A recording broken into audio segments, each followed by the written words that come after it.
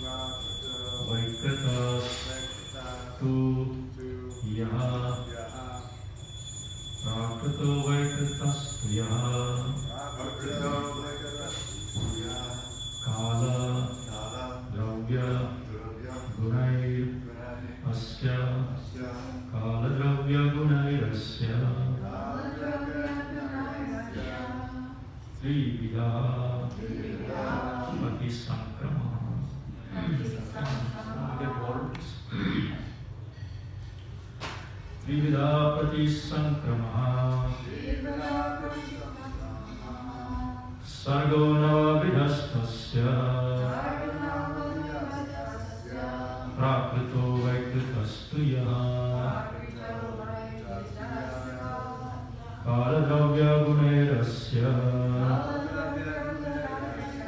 Trividha प्रतिसङ्क्रमः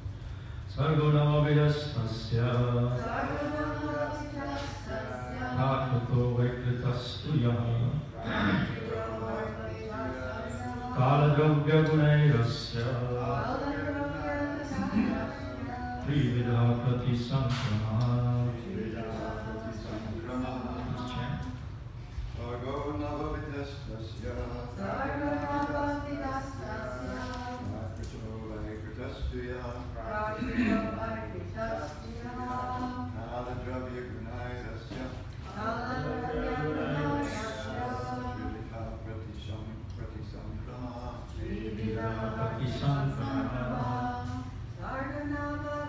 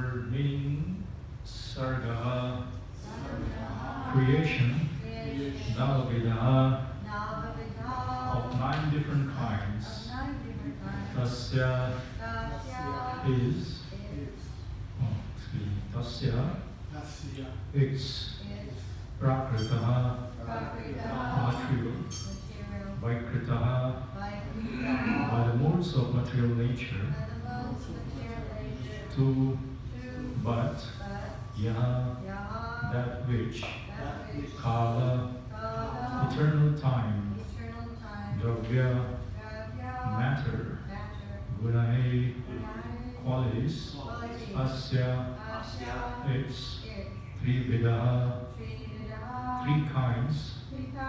Prati sankramaha annihilation.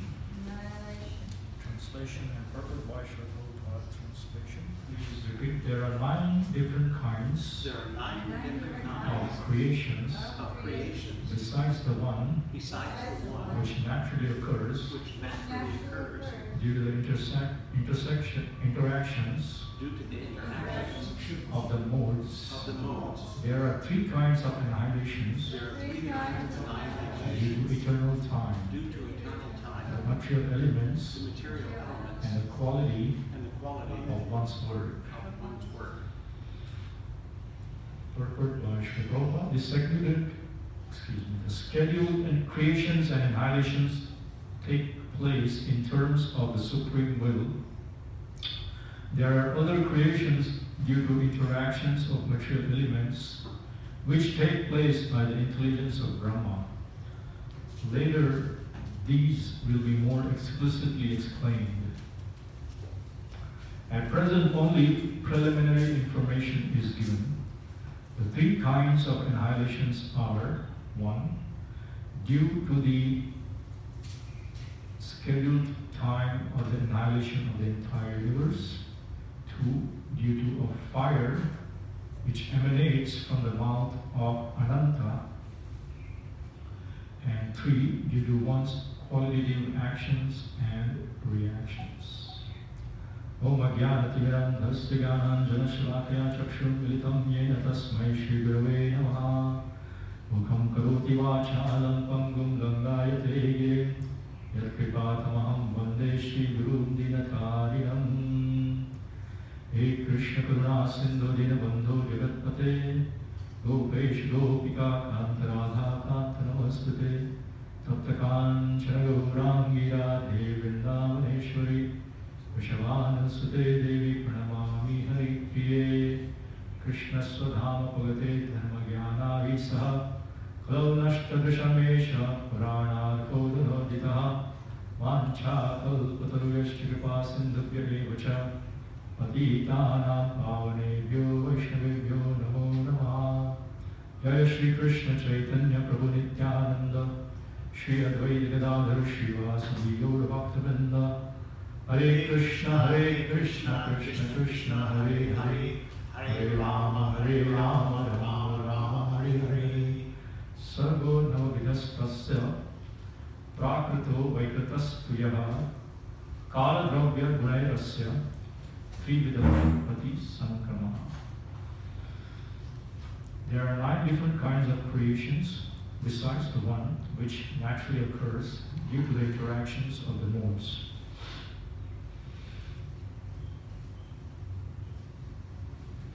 There are three kinds of annihilations due to eternal time the material elements and the quality of one's work. So we see here that the conversation going on between yes, Maitreya Muni and Vidurji. And now the topic has come to the aspects of the creations of the cosmic or the cosmic manifestation. And as this verse, it starts with Sarga, just like we know the different topics of Srimad Bhagavatam. So how many topics? Srimad Bhagavatam describes how many topics? Ten. Ten. Who said ten? Ten? Oh, yes. Ten? Ten. So ten, starting from Sarga, Visarga, and so on. So Sarga is basically nothing but the primary creation, as we know. From the first canto of Srimad Bhagavatam, that how Krishna is doing the primary creation, that the Mahavishnu from the the Mahavishnu is lying in the Karana ocean, Yava Karana Navajale Bhajatisma Yoga Nidramanantam Jagadanda Nidramananta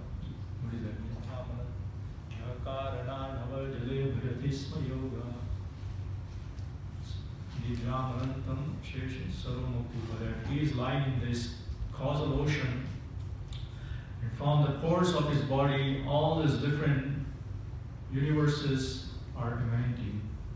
And again, so this is Mahavishnu. And again, in each one of these universes, he is entering as what Vishnu? Starting from G. Garbhodakshaya Vishnu. And we see the Garbhodakshaya Vishnu lying on the bed of serpent uh, Anantasesh, right? The famous picture we must have seen. And again, from his navel comes the lotus flower on top of which Brahma is born. And in Brahma is doing the secondary creation or the Visarga. And again, the Lord enters each and every living entity as Paramatma or Super Soul, and that is which Vishnu? Starting from K. Kshirodakshayi Vishnu. So this is the different creations, and this particular verse it says there are nine different kinds of creations. So Prabhupada in the purport says this is just a pre- preliminary knowledge, and which means in further verses we will know what are these nine different types of creations. And there are three different kinds of annihilations or destructions. And Prabhupada mentions those in the purport. The one, the first one is due to the scheduled time of the annihilation of the entire universe. So to understand this scheduled time, it's more or less like uh, if you have some kind of computer running off, and then you got to reset every now and then. Right? So this particular annihilation is more like resetting this whole cosmic manifestation. It's not destruction, it's, it's not complete annihilation, it's just a reset. So due to the scheduled time of the annihilation of the entire universe, the number two is due to a fire which emanates from the mouth of Ananta. And the third, due to one's qualitative actions and reactions, which means probably the individual living entities. So this can go more into technical details, but I would like to share something in connection where Srila Prabhupada, when we came across this verse a few weeks back, Tasyaha Anugrahanami Harishetat Dhanam that when everything is taken away from one self, then that is, that is to be considered as a special mercy of the Lord. so in this connection, we will go to the pastimes of Srila Prabhupada or Prabhupada Lilamrita by Srila Satsvarup Das Goswami.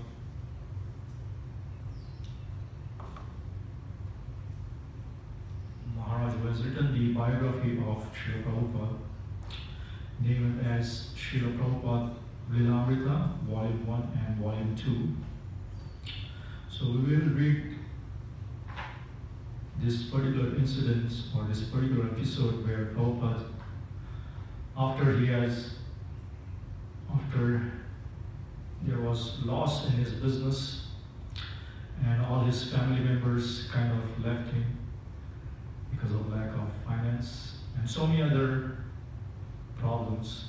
And then Prabhupada has come to stay in Vrindavan. And this is even before he stayed in Sri Radha Damodar temple, he stayed in Vamshi Gopal temple, on the roof of Vamshi Gopal temple, from where you could see almost the entire Vrindavan and specifically the beautiful view of Yamunaji or Yamuna River. So we will, it's basically, I put it in kind of slides and we will read. And at one point there is a poetry by Srila Prabhupada wherein he kind of refers to this process of annihilation and creation. So we'll connect the dots when we come to that poem by Srila Prabhupada. Srila Prabhupada Lilamrit, Volume 1, Chapter 9, entitled Resident of Vrindavan. So this is basically when Prabhupada actually he was going back and forth to Delhi because he was single-handedly writing, editing, and even printing Back to Godhead magazines and he would go to Delhi almost every day from Vrindavan and come back and do his bhajan. So on the veranda up high, so this is in Vrindavan on the rooftop of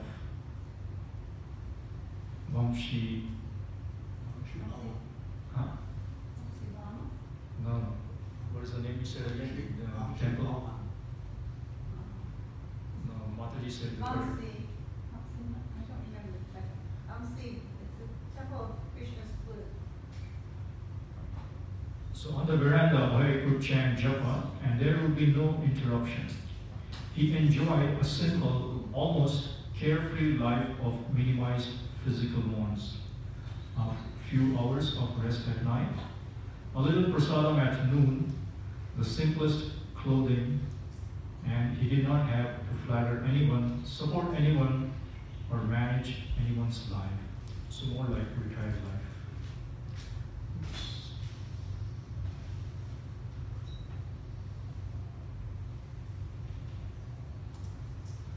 His mind and intelligence were free and dwelt constantly on his service to his spiritual master.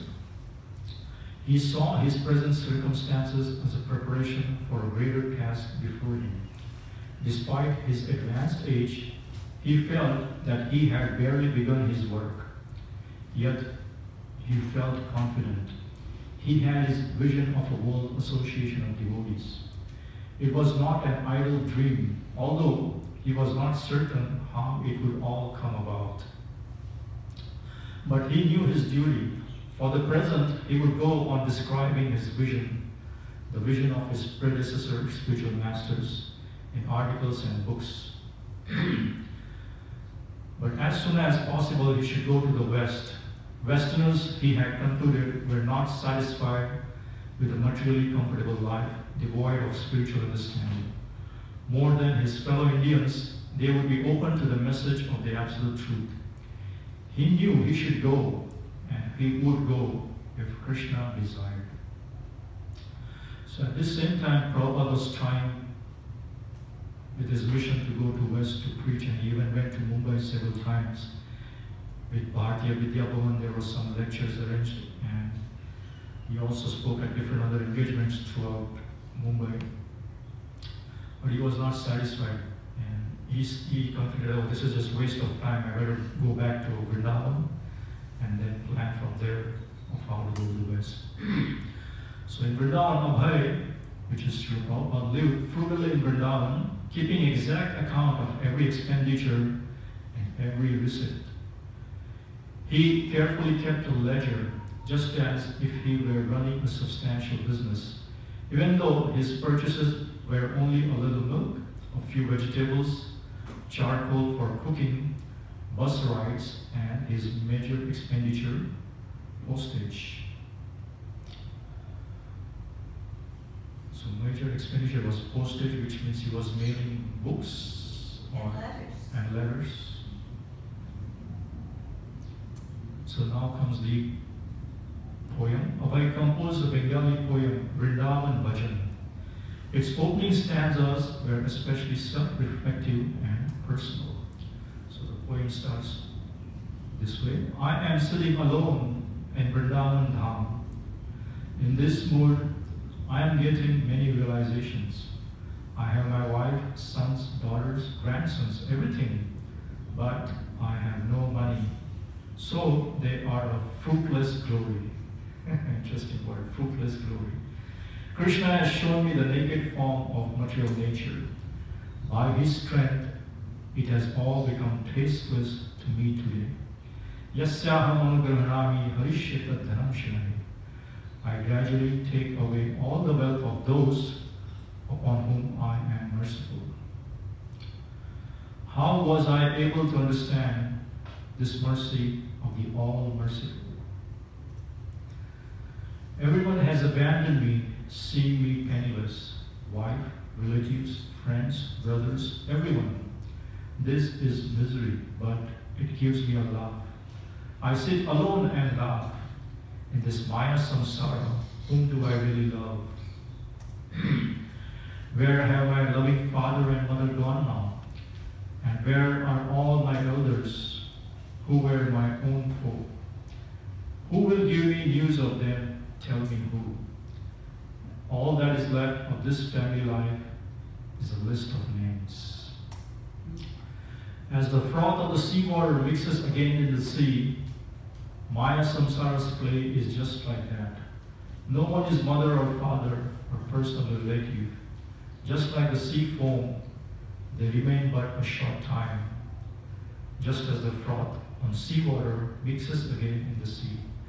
So this is in a connection to our students' words that how this creation and annihilation happen, happens, just like a sea foam.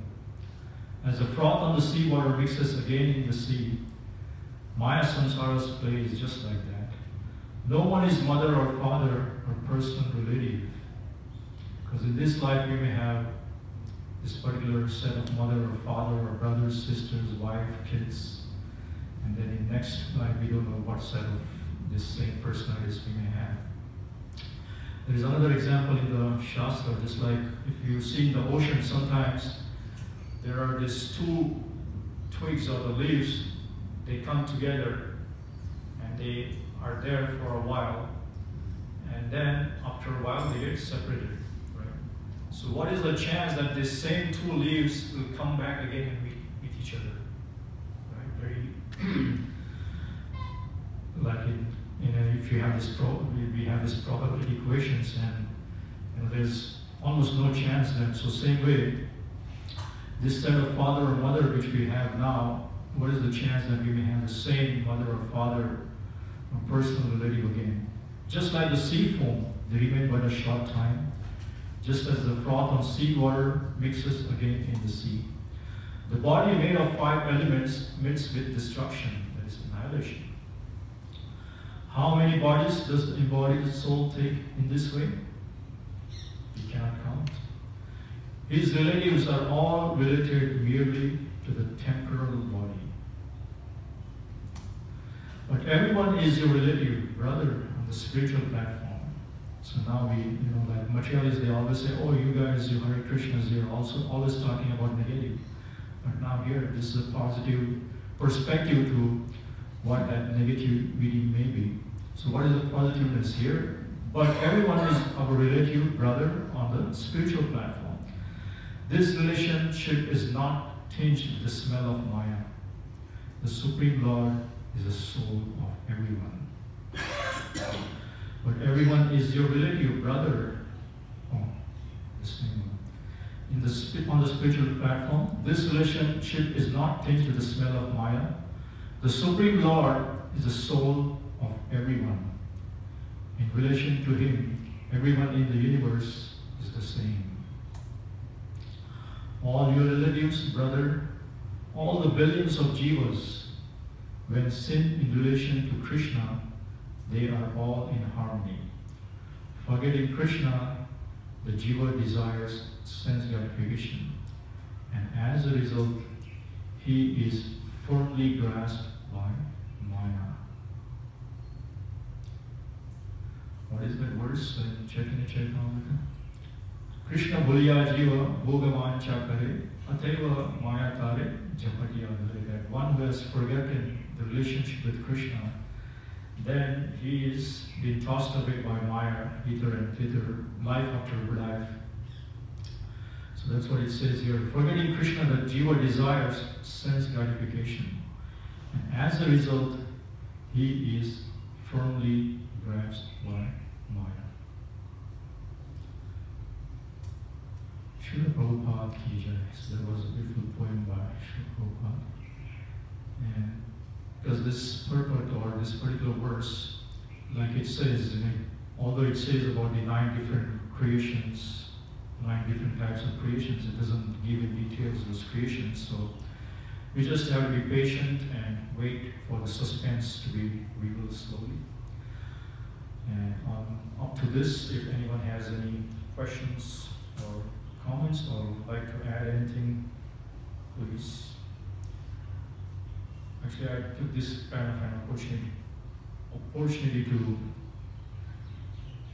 as part of Srila Prabhupada's disappearance, because we are kind of great grand, grand great great grandkids, and we are way below in that line of connection to Srila Prabhupada. So there's always lack of time for us on that particular day, but somehow I would, I thought I would, you know, get this opportunity to connect with Srila Prabhupada. you did that. uh, This, this is a really beautiful poem, and uh, it's internal power, the mood of Prabhupada, of how he's uh, relishing that ecstasy of being in Vrindavan, but at the same time he's planning on his mission to go preaching to, to the West, the Westerners. Yes, Prabhu, you have something? When I listened to the poem, and Prabhupada said he had not any money, penniless, uh, uh, and all his relatives that left him because he had no any money. And in my mind came the question: Is he is he came to America to make some money? Not at all. Good question. It's a very natural, you know, I mean, even in this world, in the material, with anyone, not just Prabhupada, you see that when we don't have money, then we don't have value in that sense. Especially in this Kali Yuga, you know, then people start distancing from us. Right? If we have money, then everyone wants to associate with you. but once you lack that particular aspect, then they, you know, go away. And yes, of course, uh, Prabhupada is struggling, but he never, you know, of course, if he wanted, he would have, you know, immediately kind of uh, strike back and, you know, go on with his establishing his business, and he could have become millionaire or even billionaire. But he didn't go after that. You know, his, that was not his main main intention. Even in India, he could have he was, he had his Prayag pharmacy, and even the family, the Nehru family, the uh, prime minister, they would order medicines from his pharmacy, right? Although this was a temporary glitch, which in the sense, you know, this, this is the whole leela or pastime Krishna wanted him to go this way that Yasyahanugrahana, that's a special mercy of the Lord that he's losing all his money, his relatives, his friends. But then, like your question says, oh, did he come to the West for money? Not at all, right? I mean, he came with a meager, how many dollars was it? Uh, Seven or forty rupees. 40 rupees, right? What is the value of that in that, you know, in 7, 1960s? Seven dollars. Yes, seven dollars, and what can you buy in, in seven dollars? And he had it when he Alright. went down. Yes, and even then he didn't think of, oh, you know, I should go first get some job and then, you know, make some, you know, proper situation for my food, clothing, and this and that. No, he didn't do. He just straight went on to his mission of preaching, right? You go to the park, chant Hare Krishna, and Wow. that's what he did, and he even cooked for all this, you know, hippie souls, right? And he did cleaning himself, everything one man show up. Never ever he thought that, oh, I should go get green card or start working or uh, so many other things. right? And of course, Krishna provided. You know, to the point that within 10 years, he had more than 108 temples and beautiful temples and you know, millions and millions of dollars worth of assets, right? And he didn't even claim, even after he left this world, it's not that he, you know, wrote checks or he put on his will his family members. No. Right? If, if somebody would have had that much amount of money, they would put something in this, right? even, I mean, technically, if you see, if you see the Goswamis, right, they even, what is it, Rupa Goswami said 50% of, and we can give, know, Prabhupada, he, he did not give a single penny for his family members or anything, but of course for his spiritual family, he has given all these temples and farm communities and this, just like, what is that uh, famous line? Is that Bhavananda Maharaj that your Elvisher ever, Elvisher video, he say, Prabhupada built a house in which the whole world can live peacefully. And I like the tone of when he says that. He, lived, he built a house where every one of us can live peacefully without thinking about how we can get our next meal. Actually, we are having the best meals here, you know, three course, four course. We have for the feast how many course? Chapan Bhog, 56 items. Right? So Krishna provides the best for his devotees. So we shouldn't be we shouldn't be afraid of surrendering 100% to this process. And Maharaj, like Maharaj always quotes that uh, from Bhakti Rasamrita Sindhu, Goptutve, what is that, Maharaj? Goptutve Varanam, that Krishna will always provide, or even that Bhagavad Gita verse says, uh, is that uh, I preserve what they have and provide what they lack. Yoga Kshema Mahamya. So Krishna will provide, He's already providing, so we shouldn't be scared of that. Yes, sir. You mentioned uh, that before he went to the West, he tried preaching in Bombay. Yes, yeah, Bharatiya Vidya Bhavan and he and his disciple Acharya Prabhakar, so he invited him to, and he organized because he knew certain people in Bharatiya Vidya Bhavan, which is near the Chowpatty temple. But it must be really unique when after he came to Bombay and he had one program on the roof of the building, where is the beginning? He was sitting on the other side and all the people from India they came and they, he's speaking a little small talk. So at that time they came as a, you know, he already established. So how he felt, you know, between that time and must have been. You have to ask Prabhupada, you have to go and ask him how he felt.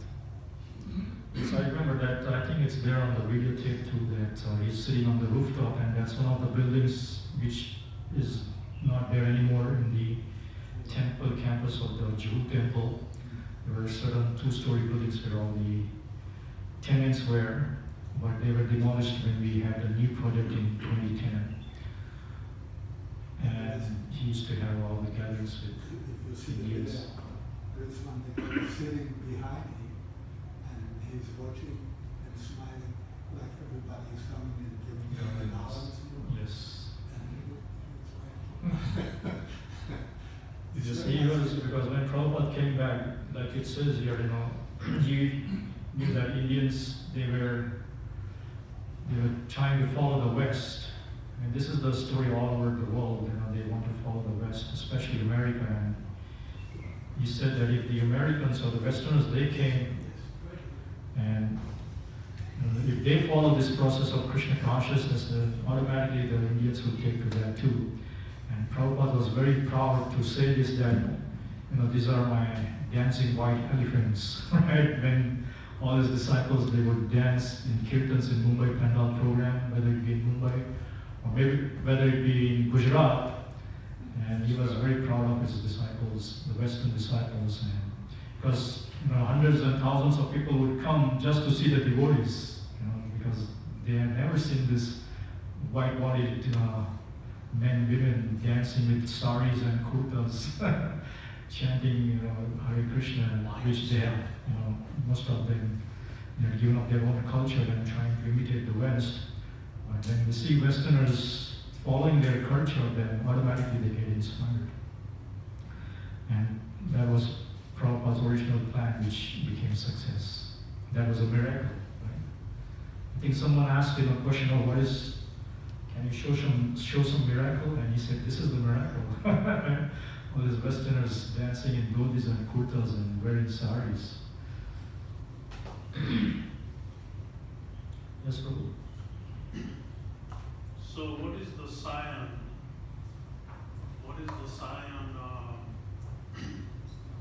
that uh, Krishna is pleased with us? What is what? How we know that Krishna is pleased with our service? What is a symptom? Jai, Sri Panchatattva ki. Well, that's a question, and that can be another class, just like Mataji says. but in short, Brahma Bhuta Prasannatma na shotati na kanchati samasarveshu bhuteshu na bhakti. In Bhagavad Gita, if you see this verse, and we see the symptom of those who are, or those who have had the mercy of the Lord, Brahma Bhuta, that he is always happy. Prasannatma, that is a Prasannatma, he's always happy, he's always joyous. Mm, What is that? Satchidananda, Ananda, so bliss or happiness. Prasannatma, na shochati, na so, and there's no lamentation because he's always happy. Brahmabhuta prasannatma na shochati na kamshati samasarveshu bhuteshu and he is seeing everyone in Krishna and he is seeing Krishna in everyone. Samasarveshu bhuteshu mad bhakti pranam because he has attained devotional service unto me. And there are so many other symptoms if you read Bhagavad Gita chapter 12 and I think 30. And we can discuss that more, but uh, any other quick comments or questions?